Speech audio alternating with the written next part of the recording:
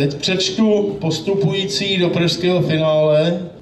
Ze včerejšího večera, ze včerejšího večera porota vybrala pět postupujících.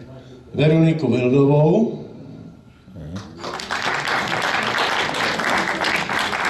Manon, Pavla Muchu, kapelu Esence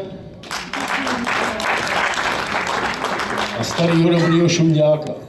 Oh!